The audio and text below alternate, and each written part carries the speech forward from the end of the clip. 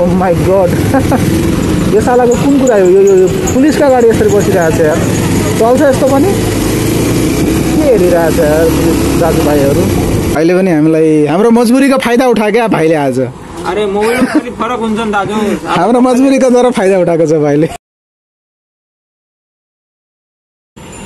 Hello guys welcome back to my another blog अनि guys आज चाहिँ हल्का अलिक लङ टुर एक एक सय किलोमिटरको टुर हुन गइरहेछ अनि म अनि मुकेश ब्रो आज हामी लानतिर जाँदैछौँ केही कामले। उसको साथी भेट्नको लागि गइरहेको छौँ होइन? अनि म चाहिँ हल्का यसो जस्ट फर माई कन्टेन्ट होइन? मेरो भ्लगको लागि गइरहेको छु। अनि जाँदा जाँदै बाटो मैले त्यो हतार पनि भएको र प्लस बाटोमा पानी पर्नेले मौसम पनि खराब छ नि त अहिले। अनि त्यसले गर्दा भिडियो पनि गरेको थिएन बाटोदेखि गरौँला भन्थेँ। अनि ठ्याक्क भण्डाबारी पुगेको। मेरो बाइक राजा हल्का मोबिल सकेर गाडी अलिक बाटोमा त्यहाँ सत्तरी हान्दै थिएँ। झ्याप्प बन्द भयो क्या अनि मैले बुझेँ केही समस्या छ भनेर अनि यहाँ ल्याएर चेक गराउँदाखेरि उ त्यहाँ परको ग्यारेजमा गरेको साला मोबिल पनि राम्रो थिएन पैसा पनि धेरै भन्नु मलाई डाउट लागेर अनि यो मोबिलमा ल्याएको। यो यहाँ छेउको ग्यारेजमा। यहाँ पनि मोबिल नराख्दो रहेछ घरमै उता ए, के अरे यहाँ पसलमा राख्दैन अरे घरमा राख्छ अन्त मोबिल न- दुईचोटि सोध्न आउँदै जाँदै गरिसक्यो। अनि वेटमा छु गाइस हतार चाहिँ भइरहेछ लास्टै त्यही हो। कस्तो फिल भइरहेछ तँलाई वेट गर्दा? लास्ट बोरिङ भइरहेछ के ढिलो यति भइसक्यो। तँभन्दा बोरिङ मलाई भइरहेछ किनभने आज चस्मा पनि ल्याएको छैन क्या सेतो चस्मा पनि छैन। अब बाटोमा भरे किरासिरा पऱ्यो भने टेन्सन चाहिँ अब कालो हेलमेटमा होइन? अब अँध्यारो नहुन्जेलसम्म त देखिने हो त्यसपछि त आँखा पनि देखिँदैन। तर पनि हेरौँ। सो फाइनली यो भाइले पनि मोबिल बोकेर आइसकेको छ भाइ ढिलो भएन। ढिलो भएन। कसम। कुन ल्यायो कति कति एमएल गरे? खै हेरौँ सर्व हो। कहाँ ल्याएछ बारे। यो भाइले? यो भाइले पनि कमेडी गर्यो यार। ऊ त परको दोकानमा लगेको। यहाँ ल्याएको। साढे पाँच सय मोबिल हाल्ने भनेर ल्याएको। घर लिन गएको। अनि लास्टमा फर फर्केर आउँछ भने दाइ छैन त्यति। साढे छ सय बेला छ। त्यो पनि भनेर ल्याऊ भाइ। तँ लिएर गयो लास्टमा भन्छ तँ पनि छैन दाइ अर्को छ। भाइले पनि हामीलाई हाम्रो मजबुरीको फाइदा उठायो क्या भाइले आज। अरे मोबाइल खालि फरक हुन्छ नि दाजु। हाम्रो मजबुरीको द्वारा फाइदा उठाएको छ भाइले। गाइज लास्ट तनाव यस्तो भयो भने चाहिँ टेन्सन हुन्छ क्या। अब ठिक्क गोजिउन बोकेर हिँडेको हुन्छ मान्छे त सबैसँग एकदम धेरै हुँदैन नि त। अनि यो बेलामा चाहिँ बुझ्नुपर्ने हो यार। यो बाहिरको मिस्त्रीहरूले। यस्तो त तनाव हुन्छ भाइ यार। अब हामीलाई त्यहाँ रोडमा बटुवा टक टप उदेऊ कटौरा। एकछिन मागेर नि आउँछु पैसा तिर्न गाइज लास्टै ढिलो भइसकेको छ। अब साढे पाँच बजिसकेको छ। लाइन पुग्नुपर्ने लास्ट ढिलो हुन्छ अब। अब उडेर जानुपर्छ होला यार। बाटोमा त भिडियो पनि गर्न पाइँदैन।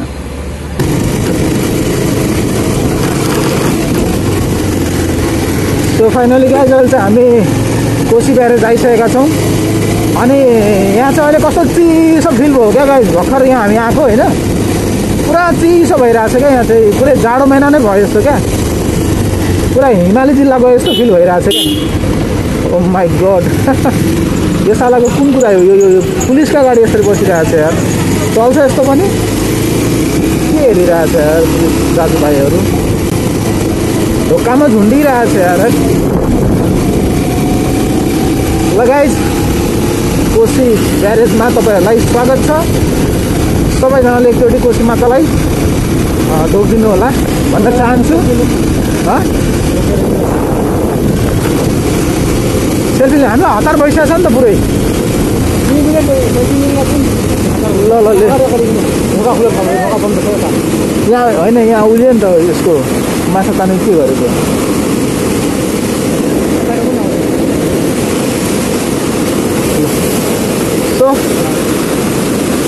गाई तपाईँहरू हेर्न सक्नुहुन्छ पानी।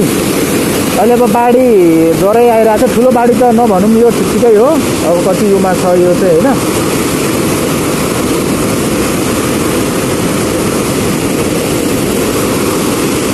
यहाँ चाहिँ यिनीहरूले यसरी दाउरा निकाल्दो रहेछ भाइहरूले।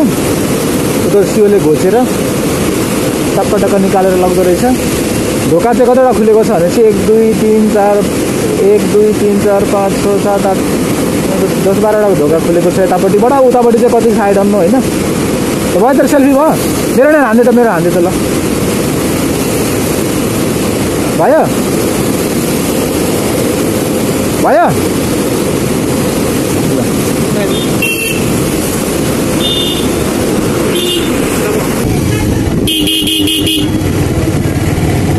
जय माते कङ्कालीमा रक्षा गरे मातेश्वरी सबैजनाको त्यही भएर भर्खर कङ्कालीमा थियो भनेपछि भारदा पुग्न लाग्यौँ हामी चाहिँ। गाई एउटा कुरा नि त्यो कि अघि हामीले मोबिल मात्र हालेको होइन? ठुलो कुरा पनि होइन। एउटा ठाउँमा हालेको त मोबिल एक त नयाँ पनि प्राइस पनि धेरै भन्यो त्यहाँ मैले हालि नगएको ठाउँमा लगेको। अनि त्यसले त्यहाँ चाहिँ एक सय रुपियाँ भन्यो क्या सुरुमा। अनि त्यो सुरुमा जुन जसको ग्यारेजमा लगेको त्यो मिस्त्री घरकोसँग कुरा गऱ्यो क्या। अनि कुरा गरे पनि त्यसले म साढे पाँच सयमै हालिदिन्छु भन्ने भनेको थियो। अनि मोबिल त्यहाँ राख्दो रहेछ क्या एउटा नराम्रो कुरा चाहिँ होइन। त्यसले चाहिँ घरमा लगेर राख्दो रहेछ नि घर गयो घर गएर आउँछ भन्छ दाइ त्यो मोबिल छैन छ यतिमा हालिदिन्छु भनौँ अनि मैले भने ल ठिकै छ त्यो पनि। अनि फेरि घर गएर फेरि भन्छ त्यो मोबिल छैन अर्को ठुलो वाला हाल्नु भन्छ क्या? अब मैले मोबिल निकालिसकेको छु होइन एक त त्यो पुरानै ग्यारेजमा निकालेर मोबिल छोडेर खालि त्यो यति गाडी मात्रै लिएर गएँ क्या त्यो अर्कोमा। भन्न खोजेको चाहिँ यसरी पनि मान्छेहरूले ट्र्यापमा पार्दो रहेछ होइन? सो यो कुराहरूलाई पनि तपाईँहरूले ख्याल गर्नु क्या यस्तो रिस्की कामहरू पनि नगर्नु होला। सबै आफ्नो गाडी। आज मैले चाहिँ सच सच चाहेको हो यो कुरा चाहिँ होइन? यसरी अब मलाई त थाहा पनि थिएन मोबिल सकिसकेको रहेछ भनेर। एउटा मेरो पनि त्यो चेक नगर्नु गल्ती हो।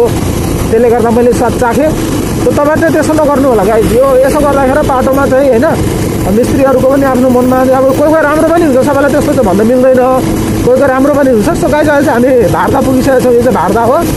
अब यताबाट सखडा जान्छ होइन हामी सखडा मातालाई यहीँदेखि नमस्कार गरौँ है। अनि हामी चाहिँ अब लाग्यौँ लाहानतिर। अब यतिखेर भनेको पाउने छ भइसकेको छ होइन। अब लाहान कतिखेर पुग्ने हो? अनि यस्तो चाहिँ नगर्नु गाई तपाईँले बनाउनु होला बाटोमा अब हुन्छ नि हरेक हरेक कुराका यो मिस्त्री नभएर अरू पनि अरू पनि लाइनमा उनीहरूले नराम्रो गर्न सक्छ होइन? ट्र्यापमा पारिदिन्छ नि त हामीसँग कम बजेट हुन्छ अनि उनीहरूले धेरै बजेटमा गएर हालिदिने टाइपको गर गर्छन् होइन? त्यो गर्नु पनि गाह्रो हुन्छ नि त हामीलाई होइन?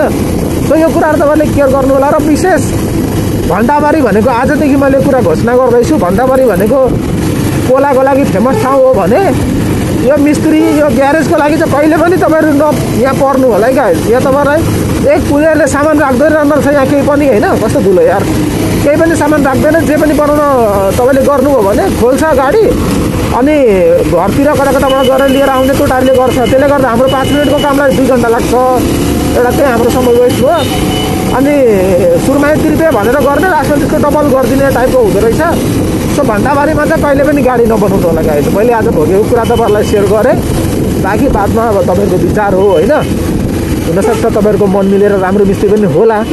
तर मैले चाहिँ त्यो दुइटा ग्यारेजमा बनाउँदा मैले राम्रो देखिनँ। सो मैले चाहिँ कुरा सेयर गरेँ। अरू अन्य कुराको लागि त राम्रो हो भन्दाबारी होइन? कोलाहरू सस्तो पाउँछ। रातको छ बजेर तेइस मिनट भइसकेको छ। अनि हामी चाहिँ भर्खर बेरेरमा पुगेर चियाहरू खाँदैछौँ उसले यसले चाहिँ यसले चाहिँ नास्ता खायो होइन? यहाँ नास्ता खाइसक्यो अनि म चाहिँ चिया खाने। अब ढिला भइसकेको छ गाई अब नन स्टप जानुपर्छ। अघि त बाइक नै कुद्दैन थियो क्या। तेल सक्यो मोबिल पुरै कम भएको रहेछ। गाडी नै नकुद्ने मोबिल लगाएपछि त गाडी उड्दैछ क्या पुरा मक्खन जस्तो। गाई अहिले चाहिँ हामी मौली कटिङ होइन रात भइसकेको छ। पानीले झन्डै कुदेको गाई जति अगाडि हामी आउँदाखेरि पानी पुरा ठुल्ठुलो थोपा पऱ्यो अनि रोकिन् क्या के गर्ने के गर्ने भनेर। अनि फेरि लास्टमा होइन अलिकति अगाडि जाउँ भनेर आएको भएर त यहाँ पानी परेको रहेछ सो राति पानी चाहिँ नकाट्यो कुराको हामी त पुगिसकेसम्म बिचरा उसको साथमा पुरा कुखुरा सुखुरा काटेर घरबाट साढे तिन बजे निस्केको गाई। अहिले साढे सवा सात भइसक्यो। बाटैमा छु भर्खर कल्याणपुर पुग्न पनि यहाँबाट अझै एक किलोमिटर छ। अनि कल्याणपुरबाट तिन चार किलोमिटर अगाडि चाहिँ कुसा भन्ने ठाउँ छ। कुसाबाट चाहिँ भित्र छिर्नु पर्ने पानीले चाहिँ अहिले लुथ्रुकै पारेर गाइज भिज्यो होइन? ए यसको पनि भिजेर यहाँ लुगाहरू हेर नि गाइज। यो त पछाडि थियो यसको भिजेन। मे मेरो चाहिँ अलिक बढी भिज्यो। यहाँ हेर नि हेलमेट सेलमेट सब भिजेर है यस्तो छ। बाइक भिजेर। लुत्रुक्क छ।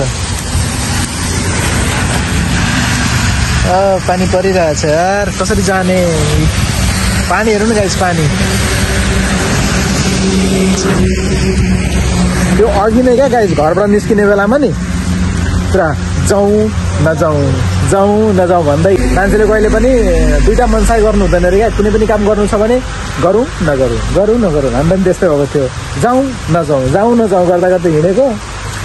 घन्टाबडीमा मोबिल सकेर तनाव बाटोमा पानीले ठाउँ कुदेर त्यहाँ पनि झन्डै भिज्यो तर लास्टमा पानी रोकेर अगाडि आएको अब चाहिँ फाइनली चाहिँ कुट्यो क्या पानीले। अब चाहिँ कति घन्टा बस्नुपर्छ थाहा छैन। तनाव छ गाइस पुग्न पाइएन भने भोको पनि अनि निन्द्रा पनि होइन सबले एकैचोटि फेरि खतम पार्छ। बट पानी चाहिँ रुकोस् हेरौँ पाँच दस मिनट परेर रुक्यो भने जानुपर्छ।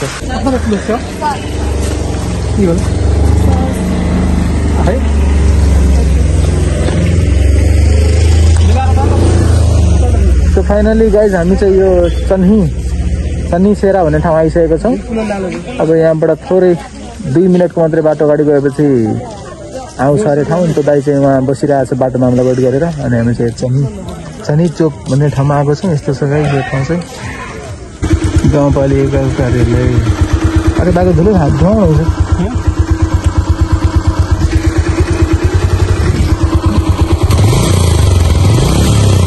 हुन्छ उहाँ रहेछ कतातिर हो अरे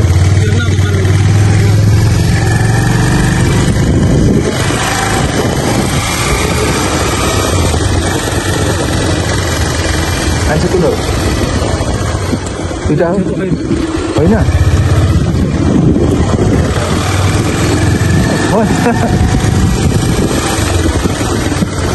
यता।